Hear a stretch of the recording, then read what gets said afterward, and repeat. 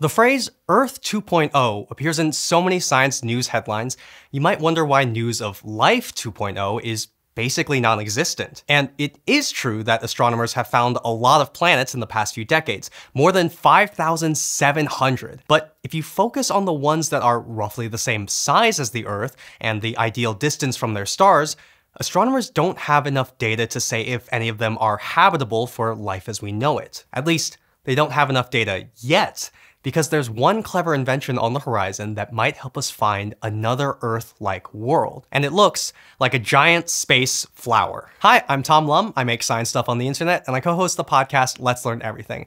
But for the next week and a half, I'll also be hosting SciShow. That's this channel. This one, right here. Me, this, now.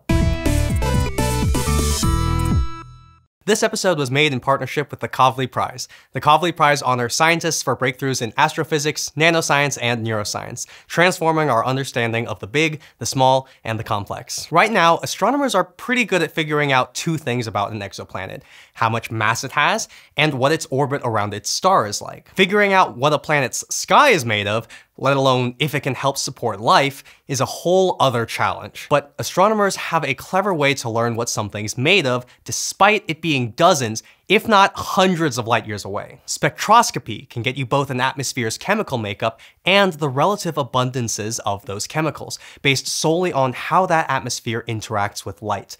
What specific colors does it emit, what colors does it absorb, and so forth. And one way astronomers get this info is by a technique called direct imaging. It involves both blocking the exoplanet's star and not blocking the extremely faint exoplanet that pretty much appears right on top of it. You know, because it's really far away from us. There are other ways to study exoplanets, but many astronomers think direct imaging is our best bet for finding extraterrestrial biosignatures in the coming decades. The problem is that with our current technology, astronomers can only image planets that are both bigger than Jupiter and way, way younger than anything in our solar system. That way, they're warm enough to glow brightly at the right wavelengths. The exoplanets also need to have fairly large orbits, so astronomers can distinguish their signals from what the star's out. So while these kinds of planets can be up to a million times fainter than their stars, we can get images of them, if not full-blown movies. But to see a supposed Earth 2.0, we'd need to spot planets that are 10 billion times fainter. That's like saying, oh, good for you, Olympic sharpshooter, hitting a dinky target 50 meters away. Now try hitting one that's 500,000 meters away. You could put the entire country of Ireland in between you two with room to spare. So some astronomers have come up with a solution to this particular problem. It's called a star shade. See, to block the light of a blindingly bright star, modern space telescopes often use something inside the telescope known as a coronagraph.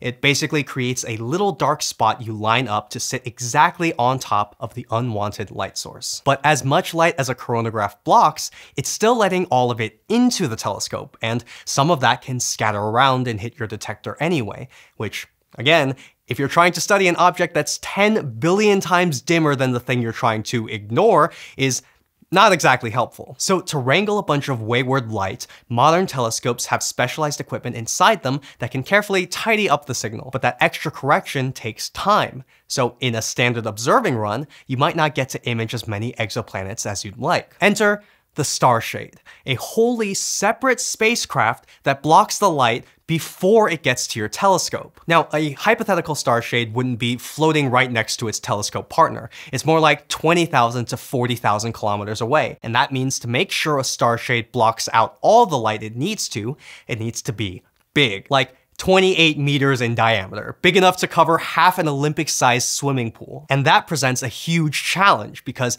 your star shade isn't going to fit into a rocket unless you can fold it up in such a way that it will unfurl perfectly by itself. We're talking cosmic level origami here. But luckily, unfolding giant space origami isn't an entirely novel concept. For example, engineers had to figure out how to unpack both the JWST's huge mirror and its multiple sun shields. Meanwhile, the Starshade is going with a different design. After launch, it would bloom out in a spiral, creating a flower with pointy-tipped petals. But these petals aren't just because they give the whole thing a cottagecore aesthetic.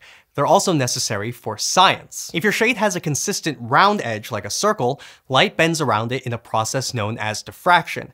Basically, it mucks up the signal and makes it harder to find planets. By having these petals, they'll soften that edge to produce a crisper shadow over the bright star. Now, all these perks don't mean NASA is handing out star shades to every future telescope project. Star shades aren't a perfect replacement for your classic coronagraphs. I can keep this one though, right? Obviously, you have to pay for an entirely separate spacecraft and launch.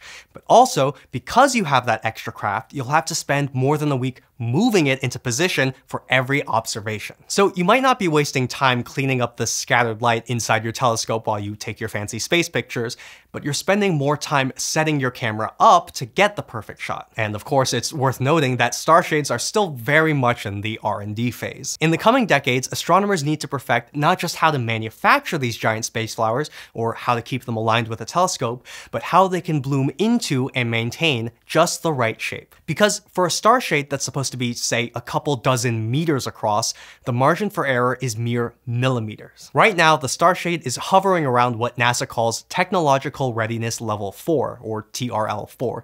This means the team has done some tests in the lab, made some computer models and simulations, and tried mini versions of the tech needed for the spacecraft. In other words, there's no working prototype scheduled to launch anytime soon. However, astronomers are hoping to incorporate a Starshade into NASA's potential habitable worlds observatory.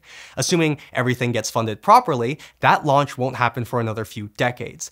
But a starshade could happen even sooner. NASA's Roman Space Telescope is currently scheduled to launch in 2027, and it's been described as starshade compatible. So if someone manages to find the money, engineers could build a prototype starshade and send it up there while Roman is mid-mission. In the meantime, astronomers will continue their hunt for the elusive Earth 2.0, including Dr. Sara Seager, whose work on starshades inspired this video. She and Dr. David Charbonneau received the 2024 Kavli Prize in Astrophysics for their groundbreaking exploration of exoplanets. The Kavli Prize in Astrophysics is awarded for outstanding achievement in advancing our knowledge and understanding of the origin, evolution, and properties of the universe. To learn more about their work, check out the link in the description.